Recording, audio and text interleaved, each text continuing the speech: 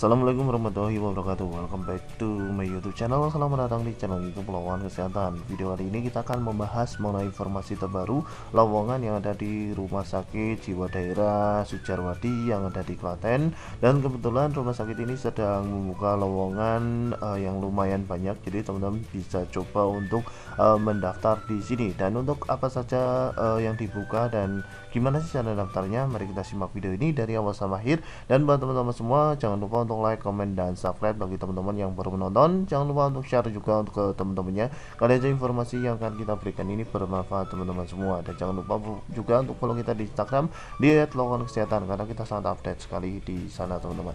Oke, kita langsung saja menuju ke informasi lowongannya teman-teman. Nah, untuk informasi lowongannya ini bisa teman-teman lihat di website dari Rumah Sakit Sujarwadi di RSJD Sujarwadi. Nah, teman-teman tinggal cari aja uh, websitenya di RSJD Dr. RM Sujarwadi atau di RSJD strip sujarwadi.jatengprof.go.id teman-teman semua. Nah selanjutnya teman-teman tinggal klik saja di sini atau nanti teman-teman bisa um, memberikan link di deskripsi video ini untuk informasi uh, link pendaftarannya. Nah untuk lowongannya teman-teman bisa lihat di bagian informasi publik. Kemudian di bagian informasi publik ini ada tulisan rekrutmen kita klik saja nanti akan ada suaranya teman-teman. Jadi kita klik dulu ya. Kita klik. Kita tunggu dulu kemudian selanjutnya uh, di bawah ini di bagian sini ya ada seleksi pegawai. Sebenarnya ini udah di share dari Februari ya kemarin tapi masih belum dibuka sebenarnya. Masih pengumuman sampai hari ini. Dan uh, akan dibuka teman-teman untuk uh, apa namanya pendaftarannya secara online. Nah selanjutnya teman-teman tinggal klik saja di bagian sini ya. Nanti akan muncul suara ya. Nih ya teman-teman kita klik dulu. Untuk lowongannya kita klik di sini teman-teman. Kita tunggu aja sebentar guys. Ini agak susah ya teman-teman semua untuk uh, lowongannya. Di sini tinggal klik ya sebentar kita. Pengumuman nah, rekrutmen nah, pegawai BLUD non PNS tidak tetap RSJD dokter. Nah ini guys ada suaranya ya. Jadi teman-teman ini ada rekrutmen atau pengumuman rekrutmen pegawai BLUD non PNS tidak tetap di RSCD Dr. RM Sujarwadi Provinsi Jawa Tengah tahun 2024 ini ada di Klaten teman-teman kalau nanyain untuk alamatnya ya Klaten teman-teman.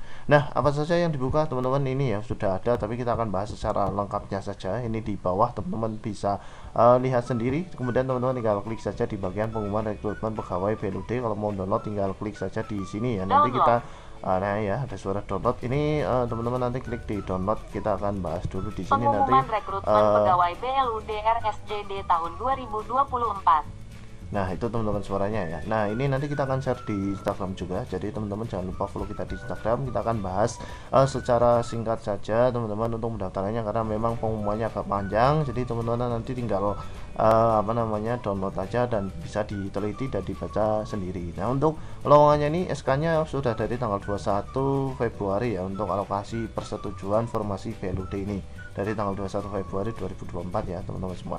Oke untuk selanjutnya untuk persyaratan umum, umum ya saya kira sama kalau teman-teman mau mendaftar ya ada WNI kemudian ada umur kemudian ada lain-lainnya ya. Ini sama teman-teman. Kemudian ada persyaratan khusus. Ini juga bisa teman-teman uh, baca ya. Ini contohnya pelamar untuk formasi nutrisionis ahli pertama dan bidan terampil telah memiliki pengalaman bekerja di rumah sakit jiwa yang dibuktikan dengan surat pengalaman kerja. Nah ini bisa teman-teman baca sendiri untuk mengum, uh, persyaratan umum dan khususnya. Untuk proses seleksinya atau tahap seleksinya teman-teman bisa lihat yang pertama ini ada beberapa tahapan ya. Ada sekitar uh, banyak tahapan ya cuma 10 tahapan. Yang pertama ada seleksi administrasi teman-teman nanti mendaftaran secara online. Kemudian selanjutnya ada percetakan kartu teman-teman nanti setelah uh, pendaftaran nanti akan disuruh untuk mencetak kartu. Nah untuk peserta uh, kartu pesertanya ini untuk TKD ini diterbitkan uh, sebagai bukti ya bahwa teman-teman telah diterima oleh panitia uh, apa namanya panitia penerimaan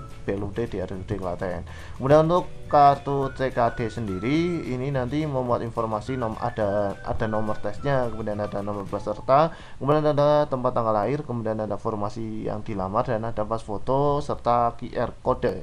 Ya teman-teman. Kemudian selanjutnya uh, ini setelah lulus uh, setelah selesai untuk kartunya kemudian teman-teman akan uh, melakukan tes kemampuan dasar atau TKD nah untuk TKD sendiri ini melalui sistem tes menggunakan media komputer teman-teman. Ya nanti untuk uh, untuk proses uh, apa namanya media komputer nanti akan diberitahukan mungkin uh, selanjutnya ya kalau teman-teman lolos di uh, tes administrasi. Nah, untuk materi uh, TKD eh, TKD-nya ini meliputi ada TWK, TIU, kemudian TKP dan ada kok tes kompetensi dasar yang meliputi penguasaan pengetahuan mengenai kesehatan atau TKP ya teman-teman semua. Jadi uh, untuk tesnya sama kalau teman-teman mau daftar PNS dan ini ditambahi tes ke kompetensi bidang ya teman-teman ya tentang uh, penguasaan kesehatan uh, teman-teman semua ya mengenai jurusan teman-teman semua.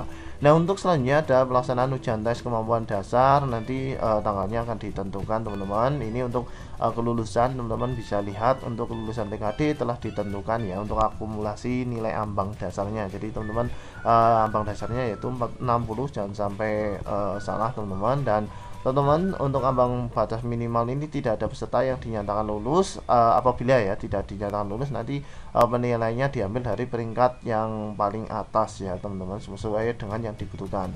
Uh, jadi teman-teman kalau uh, semisal ya ini uh, yang dibutuhkan dua orang ternyata yang tes itu uh, yang apa namanya yang dibutuhkan dua orang kemudian yang mengikuti tes empat orang dan nilai ambang batasnya itu di bawah 60 nanti akan diambil dua yang paling atas teman-teman. Jadi contohnya yang pertama 58 yang dua 57 yang ketiga yang ketiga tiga orang yang tiga itu uh, apa namanya 40 jadi yang diambil yang paling atas yaitu 58 dan 57 selanjutnya untuk uh, teman-teman yang lolos tes TKD ini nanti akan uh, dilakukan apa namanya ada pengumuman untuk tes kemampuan bidang ya. Jadi yang lulus nanti akan diberitahukan uh, tes bidangnya. Kemudian selanjutnya ini ada juga tes psikologi dan MPI ya ini nanti di uh, apa namanya untuk uh, eh, MPI dan psikologi nanti dilaksanakan di RCD Dr. Sejarwadi, uh, Provinsi Jawa Tengah dan untuk uh, biaya tes psikolog dan MPI ditanggung oleh yang lolos TKP. Jadi untuk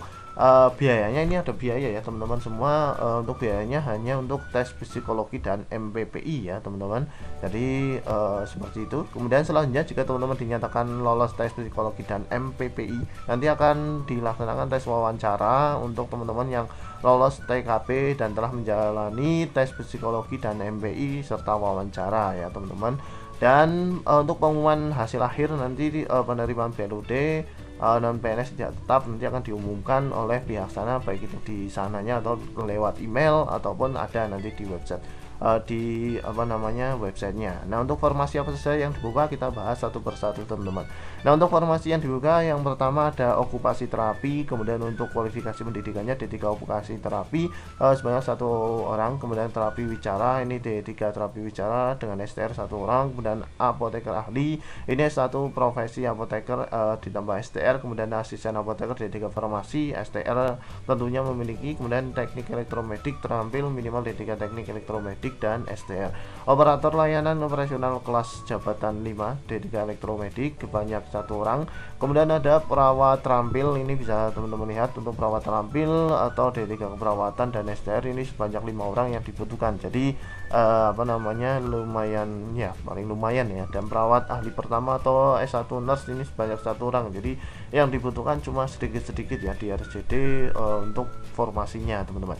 Untuk nutrisionis ahli ini ada S1 gizi ditambah STR sebanyak satu orang, kemudian bidan terampil eh, D3 kebidanan eh, dan STR, kemudian penyusun materi hukum perundang-undangan ini satu hukum satu orang dan bidan terampil ini dua orang ya D3 kebidanan, kemudian operator layanan operasional kelas 5 ini SMA atau SMA. Jadi teman-teman yang mendaftar bisa ya ini lima orang yang dibutuhkan lumayan banyak.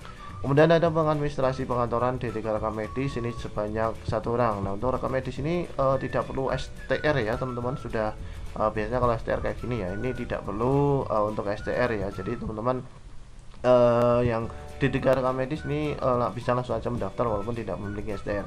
Kemudian ada penelaah teknik kebijakan S1 apa ini banyak banget ya teman-teman bisa lihat sendiri ini uh, yang dibutuhkan sebanyak satu orang aja. Kemudian ada penelaah teknik kebijakan S1 akuntansi keuangan manajemen keuangan bisa daftar ini yang dibutuhkan cuma satu orang.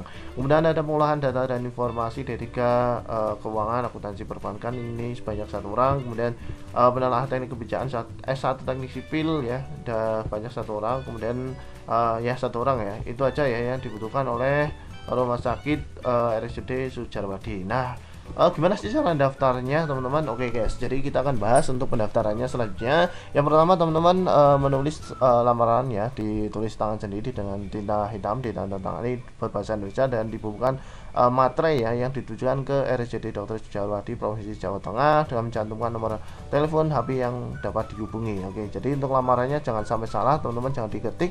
Jadi untuk lamarannya ini ditulis tangan ya, teman-teman dan dokumen lamaran yang teman-teman unggah. Ini yang pertama adalah uh, file foto ukuran 4 kali 6 dengan latar belakang merah, kemudian scan asli surat lamaran, scan asli jasa dan transaksi nilai, kemudian scan asli STR ya bagi informasi yang uh, mengharuskan STR kemudian scan asli KTP atau surat keterangan telah melakukan perekaman uh, KTP elektronik kemudian uh, SKCK kemudian ada scan surat pernyataan bermaterai Rp10.000 ya ini bisa teman-teman baca. Nanti ada contohnya mungkin di paling bawah ya teman-teman. Kemudian ada scan surat keterangan sehat fisik dan bebas narkoba dari rumah sakit pemerintah. Ya paling lambat ini ya dua minggu lah dari pembuatan kemudian selanjutnya ada scan asli keterangan pengalaman kerja jika ada. Kemudian scan asli sertifikat pelatihan jika ada ya teman-teman. Apalagi kalau perawat pasti ada BPJS-nya kemudian ada pengajuan lamaran berdasarkan pada uh, yang dibutuhkan dan juga kualifikasi pendidikan yang dipersyaratkan atas informasi teman-teman.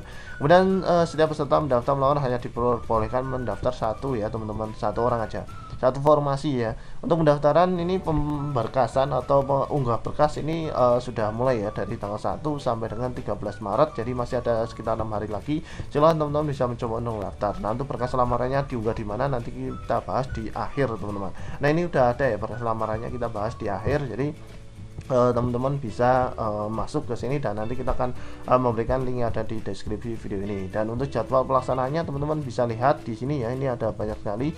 Untuk uh, pembentukan tanggal 23 kemudian pengumumannya ini sudah dari tanggal 28 Februari. Kemudian untuk uh, pengumuman di website ini sudah dari tanggal 28 sampai hari ini ya tanggal 7 kemudian uh, masa pendaftaran pelamar dan upload berkas ini 1 Maret sampai dengan 13 Maret masih dibuka. Kemudian seleksi administrasi oleh tim pengadaan BLUD ini tanggal 14 sampai 16 kemudian penetapan hasil seleksi tanggal 18 kemudian pengumuman hasil seleksi administrasi ini tanggal 18 kemudian persiapan uh, eh, TKD ini tanggal 19 kemudian pelaksanaan tes TKD ini tanggal 20 kemudian uh, pengolahan hasil TKD tanggal 22 kemudian penyerahan hasil TKD ini tanggal 25 kemudian penetapan kelulusan ini tanggal 25 kemudian pengumuman hasil TKD ini tanggal 26 ya teman-teman. Kemudian untuk uh, pelaksanaan tes TKB-nya ini tanggal 1 sampai dengan tanggal 3 April masih uh, agak lama teman-teman. Kemudian pengumuman hasil tes TKB-nya tanggal 5 April, kemudian tes psikolog dan MMPI tanggal 17 18, tes wawancara 19